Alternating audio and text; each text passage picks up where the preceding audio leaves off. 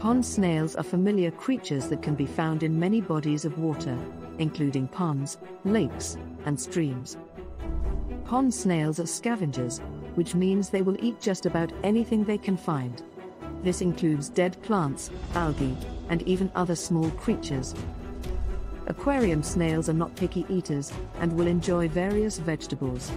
Some of their favorites include lettuce, cabbage, and spinach. You can also give them cucumbers, zucchini, and squash. In the wild, pond snails will eat a variety of foods, including dead plants, algae, and even other small creatures. If there is not enough food in your aquarium, the pond snail may start to eat live plants.